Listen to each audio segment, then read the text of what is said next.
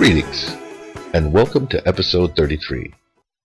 Today's episode is going to expand on Thursday's episode of Side Notes, which would be uh, escapism. I figured at the end of that video I still had more to say, so we're going to put it in a whole video on its own.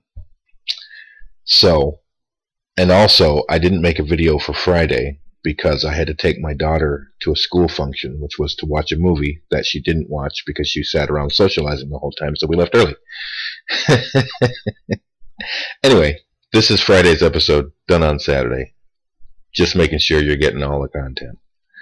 Alright, so if we're ready, let's get started. Now sit back, relax, and enjoy.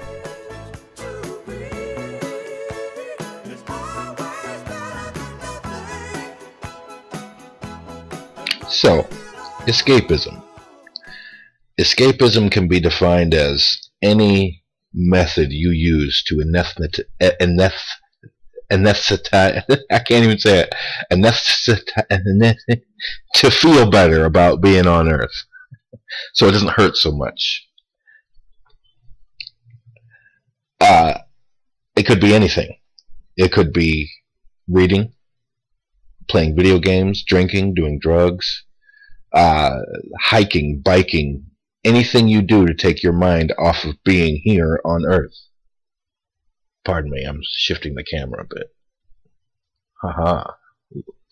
Better. Uh, and uh, I, uh, I'm really just expanding on a video I made Thursday, my side notes video. Uh, and I didn't have a topic, so I talked about escapism my favorite form of escapism, which is video games and reading. I just don't have any of my books here. Excuse me. And uh, yeah, I've been uh, studying things for a very long time, and the Egyptians believed that every day you spend in this realm should be a bad day because this is hell. This is the lowest level a creature can achieve is what we're experiencing on earth on a daily basis. And I believe that. That's why it seems like everything goes wrong. Like the focus is on fear. I don't think it's simply because that's what they want, or else it wouldn't be so easy to turn you towards fear. I think the closer to the bottom you get, excuse me, the more attracted to fear and negativity one becomes.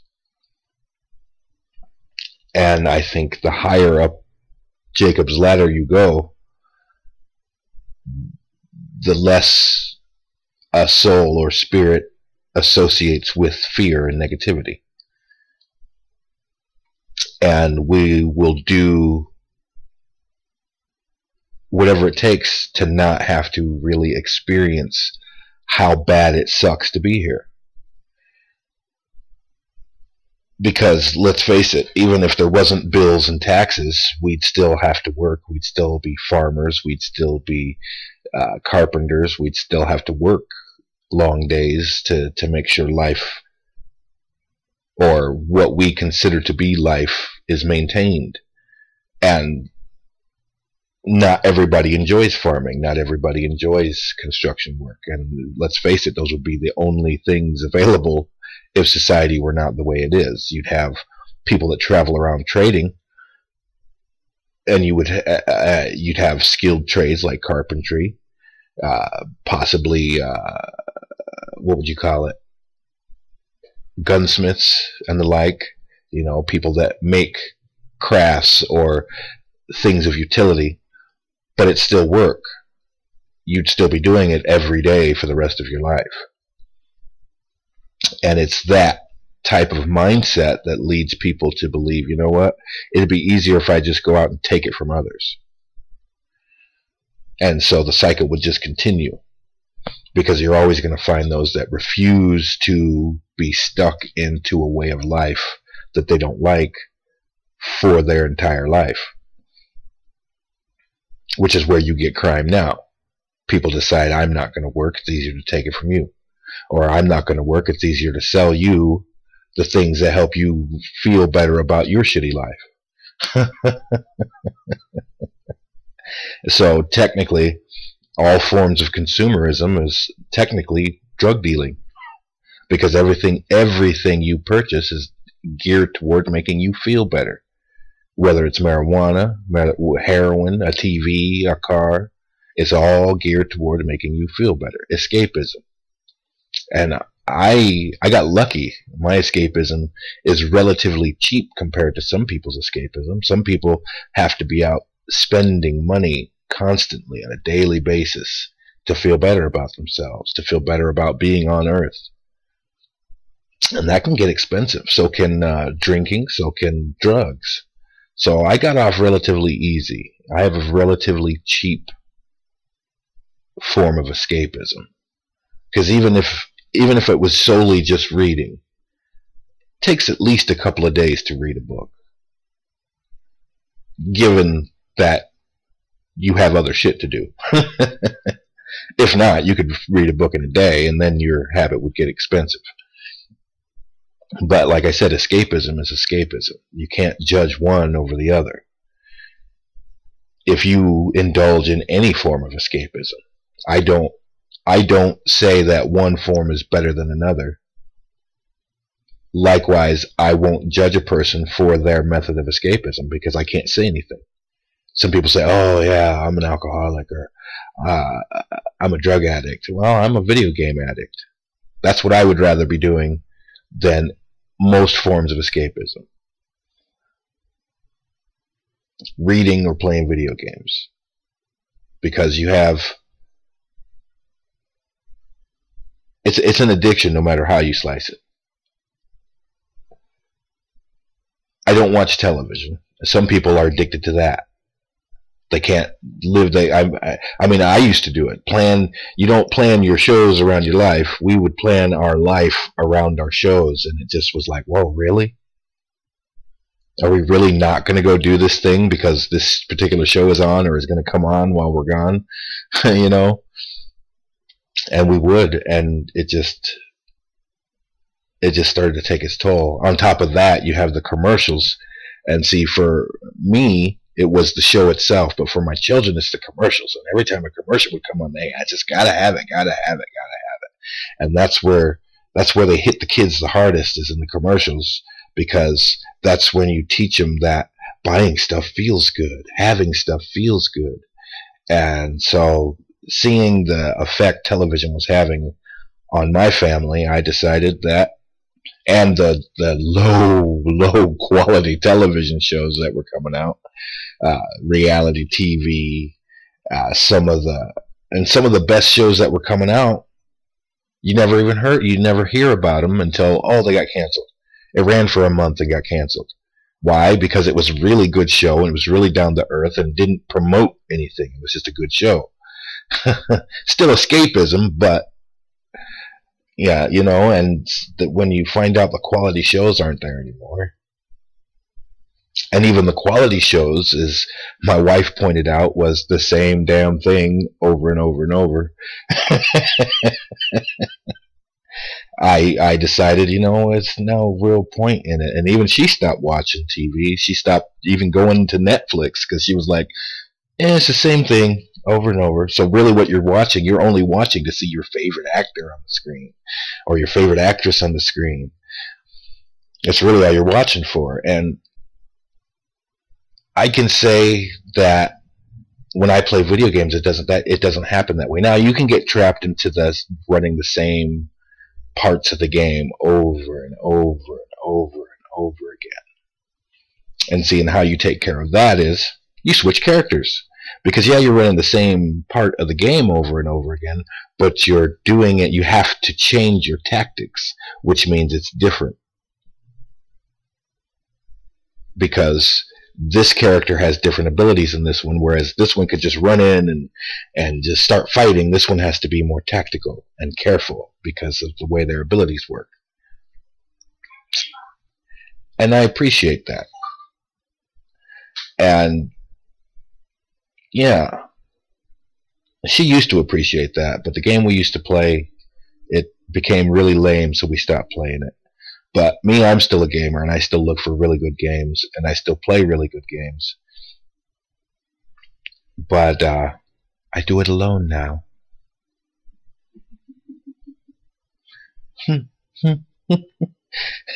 it's okay though, because I'm going to find a game that's really so kick-ass that she can't resist it. and We'll play games.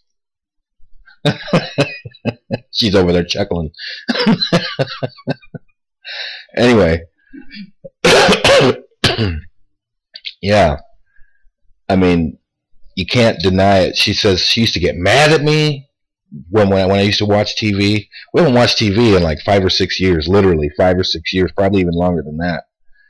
And uh, she used to get so mad because I'd be watching TV and she'd be like, "Chris, Chris, bad, bad," and I wouldn't hear her and she called it TV face. Actually, I called it TV face. Sorry, that's my TV face.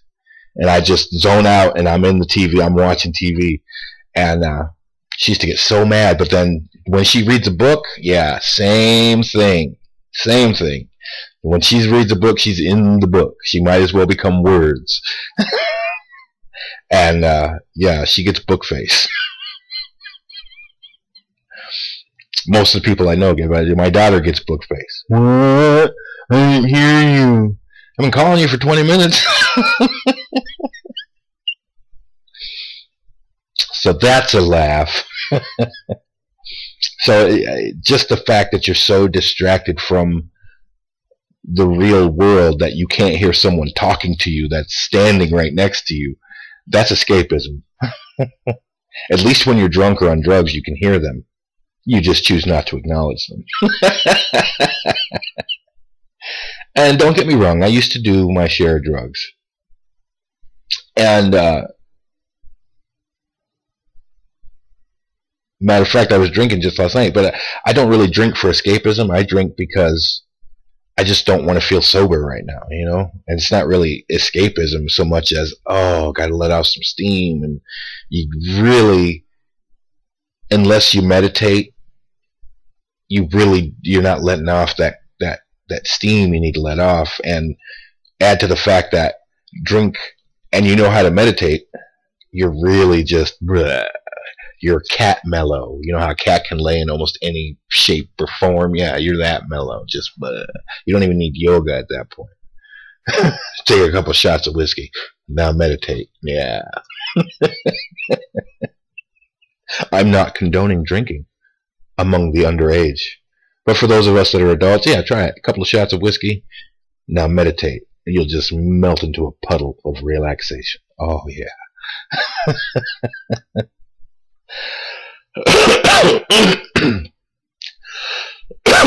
Excuse me. Same thing works with marijuana. But I don't smoke because I'd lose my CDL. That is to say, commercial driver's license. Uh, but I like well, it's not so much that I like. I find it amusing that when I tell people that I don't watch TV, and I say I don't watch TV, and they still say, "But do you watch sports?" No, that's part of the reason why I don't watch TV because I know it's fixed, and uh, they freak out. What do you do then? I play video games. Well, that's just going to melt your brain. No, no, no, no, no, no, no, no, no, no. Not if you're looking at it properly. When you watch TV or you're watching sports, other than yelling at the screen, you have absolutely no interaction with that media, with that medium, with that, with what you're doing. When I'm playing video games, there's a story involved that you're part of you make all of the, the decisions of your character. You progress the story as you see fit, as fast or as slow as you see fit. And sometimes it's your job to go and find the lore, which is to find the story. And I'm a lore chaser. I'll, I'll chase the lore because sometimes the best part of a game is the story. Sometimes it's the graphics, but even that presents its own unique beauty because it is. It's art. any gamer will tell you that a well-designed game, designing, like I said in the, the side notes, designing the game is an art within itself because somebody had to design the art of the game and actually had to sit and draw it out. And then somebody else had to take that artwork, and you can find the artwork, pre-game artwork. Somebody had to take that artwork and make a three-dimensional model out of it and, and bring that artist's vision into the game.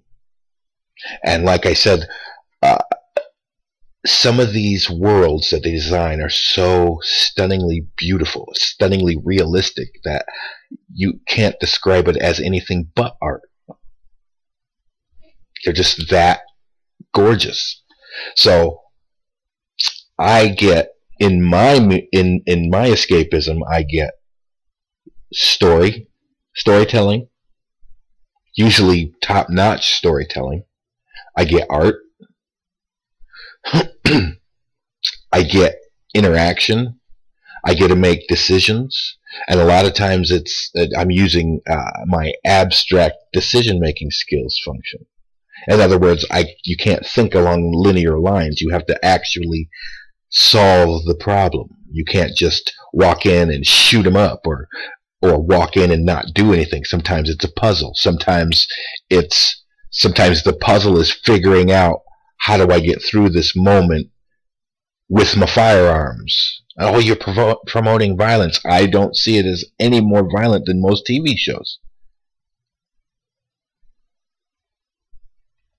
And I I refuse to use video games or even television as an excuse as to why people are so violent in the world today. That is not why people are violent. People are violent because humans are inherently violent and they're not doing anything to curb that part of themselves. I am not a pacifist by any means, but I know how to keep myself from being violent.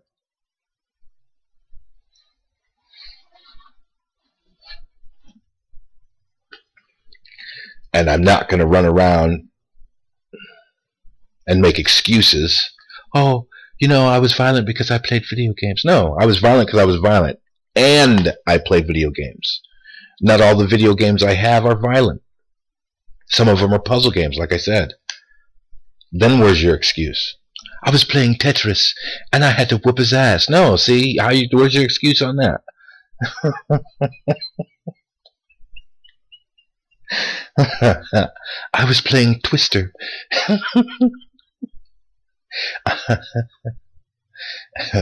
anyway, these things are cop outs. And uh,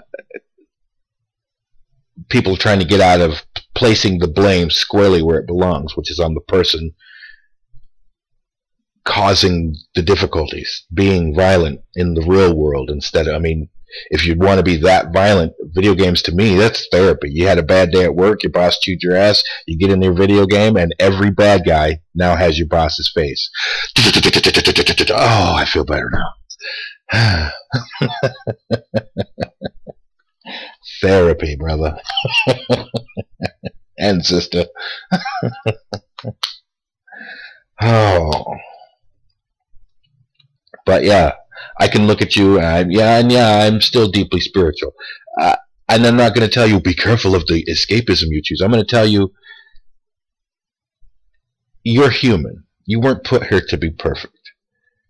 And I welcome the day when we don't need such distractions or even want such such distractions. But until that day comes, I'm going to enjoy my distractions. I'm not going to take them for granted and then one day say, you know, I would have been nice to try doing X thing or Y thing. I'm going to try the things I like.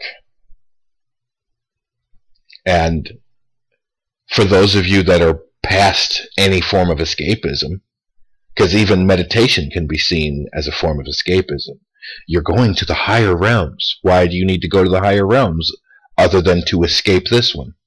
It's still escapism. I say the fact that you realize you don't want to be here, that's a plus 10 to begin with. According to the Egyptians, you're not supposed to want to be here. So if you're finding a route to to escape this place, even if it's just for a few minutes or a few hours a day, you're actually doing it right. Now, what you choose to do to escape it might not be right. I would say that the only valid form of escapism really is meditation. Well, what if you don't know how to meditate?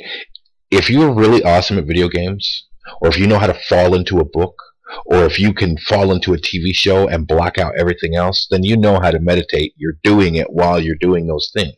You just don't realize it. You just need to learn how to sit there, remove the distraction, and still maintain that, that meditative state.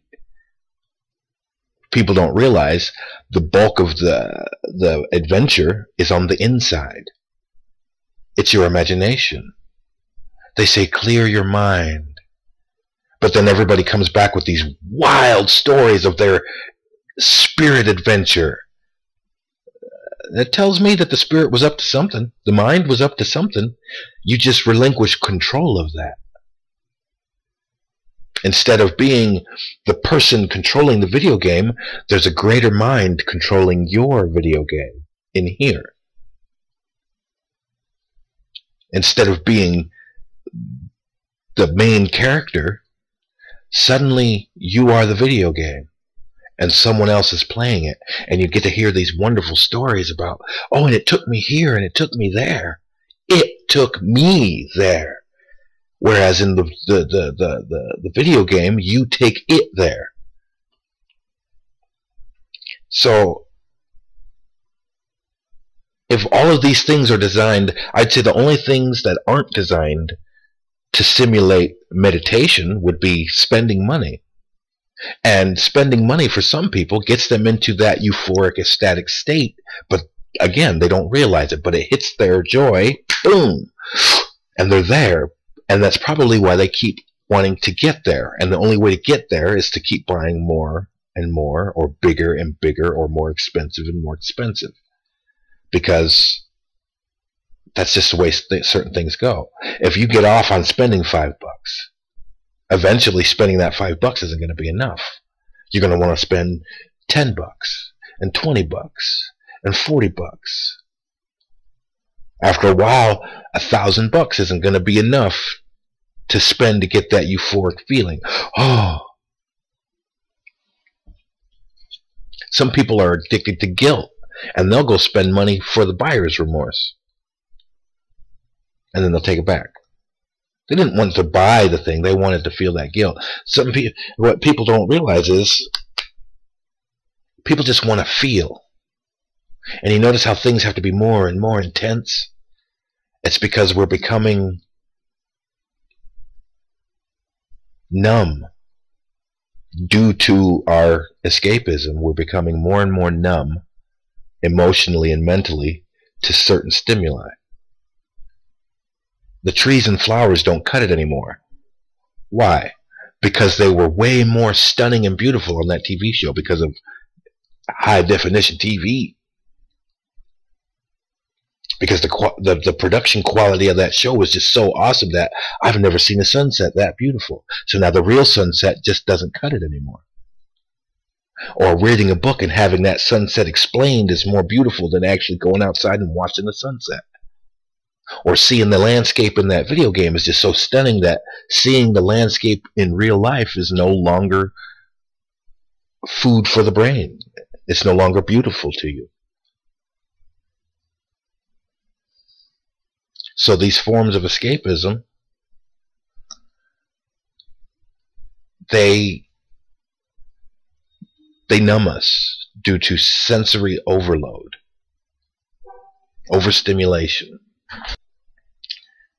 But in my opinion, all these forms of escapism, they really just simulate meditation. They simulate sleep. So meditation is a form of wakeful sleep. That's what I've learned through meditation. Is meditation is a form of wakeful sleep. Only you control where it goes, to an extent. You can you control the frequency at which you meditate where you go, since the whole point is to silence the mind, where you go is up to you as it concerns your mindset, but you're at the whims of the greater mind. Perhaps the greater mind has something to show you or something to tell you, and you're going to go there because that's just the way it works. Have you ever tried to control your meditation? Control where you go within your meditation? Because if you have, you've defeated the purpose of meditating, which is to free your mind and relinquish control. And it's that one time of the day you get to trust in the universe. Drop your guard, so to speak. Live unafraid. That's why the adventure's on the inside. People say, well, how can you just sit at home all the time? Because I don't lack for adventure. I just, I don't. Because the adventure's on the inside. Making a better me than, I, than there was a few minutes ago. That to me is an adventure. Making a better me than there was a day ago. That to me is the adventure. Making a better me than there was a year ago. That, it, there is no greater adventure. Constantly keeping track of what I'm doing, making sure that I'm being genuine, making sure that it's me in every moment. That's the adventure. People spend so much time talking schmack about other people's lives and trying to control other people's lives, but their lives are in shambles. it stands to reason. It's just it's foolishness. Unless your car is tip running tip top, you don't get to come over and criticize my car. Especially if you saw my car. and this is figuratively speaking. My car, if you could see my car, yeah, I put in a lot of work and a lot of effort on my car. And like I said, this is figuratively speaking. How much work did you put in on your car?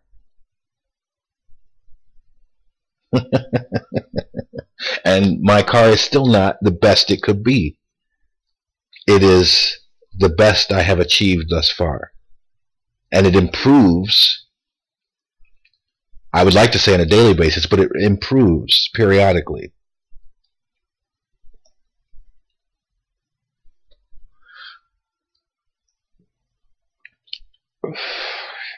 So don't, I guess what I'm trying to say is if you enjoy any form of escapism, whether it be meditation, television, video games, any form of drug, if you indulge in any form of escapism, you cannot judge any other form of escapism.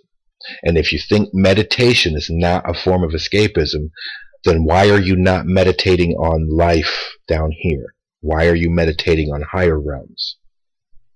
Why do you feel uh, the necessity to leave this realm, to leave reality as we know it?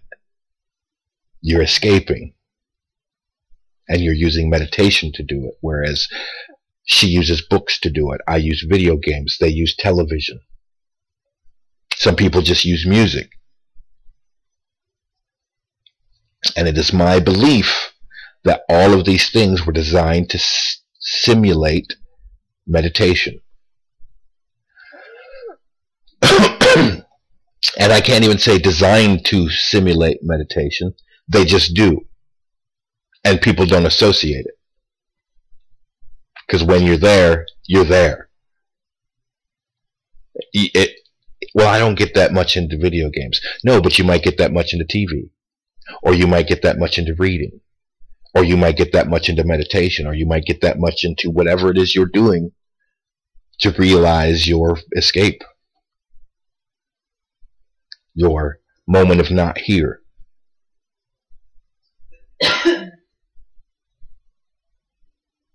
And see, when I meditate, I meditate on what's here. Because if when you meditate you're not really going anywhere, you're experiencing here but at a higher vibration, at a higher realm, you can experience that here, that higher realm, as if that higher realm was down here with you, which puts this realm that you, we exist in down even further. When I meditate, and I do so successfully, I'm sitting on a stone Merkaba that's spinning. It's made out of rose granite. The same kind of granite that is built into the pyramids. And it's just a stone Merkaba with its counter-rotating pyramids. And I'm sitting not inside of it, but on top of it when I hit my successful meditation. But I'm still here. Just everything has a beautiful oranges, I say yellow orange glow to it. And you know you're not in that mundane everyday frequency.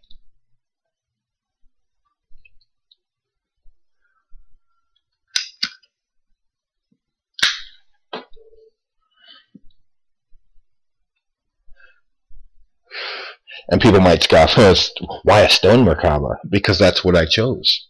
That's what I chose. I didn't choose to have a light Merkaba because I, to me, oh, excuse me, the stone Merkaba represents being grounded in, what do I want to say? I'm trying to be more pragmatic, feet on the ground, head in the clouds and that it, to, that is symbolized by the stone Merkaba. That I am, that we can achieve those higher realms right here. That's what it's telling me. And the fact that the first time the stone Merkaba appeared, it wasn't my choice, tells me that I'm doing something right. Or maybe I'm not. Maybe I just got far enough along to manifest uh, stone Merkaba as opposed to a light Merkaba.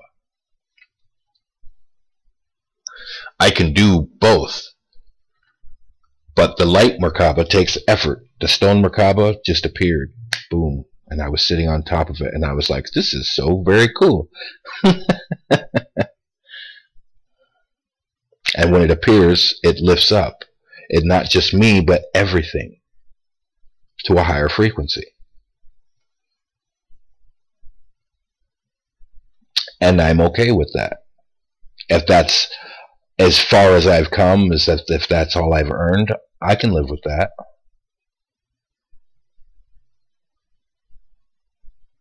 But meditation, I try to meditate before every time I make an episode. I didn't so much this time, but I've been trying to maintain a meditation through the episode. Usually like incense and it's all a spiritual spiritual thing but I was actually concerned. I felt bad for not making a video yesterday so I was kind of in a hurry because we kind of have plans today. We've got to go to a birthday party. And yeah. So I didn't get into my meditative state before I started the video but I've been trying to be in one since I got here to the to the to the video but yeah, I'm it's it's still escapism. I'm still trying to not be here. Reading, you're trying to not be here. Video games, television, you name it, you're trying to not be here. Music takes you someplace. so, yeah. And I had to stop and restart the video because someone came in the door and I didn't feel like editing, so I stopped the video and restarted it. And uh, I'm not sure if we're two or past the 30 minute mark, but I'm going to go ahead and shut this video down now. Uh, I hope you enjoyed it. It was something that a friend actually brought up to me about escapism and being in reality. But, yeah, they scoffed at my method of escapism. while in the same sentence telling me their method of escapism. And we got a good chuckle out of it. It was kind of funny, the, the exchange we had about escapism. but it just made me realize that there's really no difference in if you choose a form of escapism, it's still escapism. Even meditation is escapism. It's just, in my opinion, it's it's the most acceptable form because you're not using anything outside the body to achieve it. You're you're just using the tools given to you. Which makes me wonder, could I set up a video game within a meditation? I'd save a ton of money. Anyway, yeah. Anyway, I'm not sure where the where the mark is on this video. If we're two, we're past the 30 minute mark, like I said a minute ago. But I'm going to go ahead and call it. I like this video, and uh, if you like this video or or have enjoyed it in any way, please click the like button. You can also favorite this video if you want to. But if you would like to keep coming back and getting information, or you just like the sound of my voice, then go ahead and click the subscribe button. But until next time, you hang in there.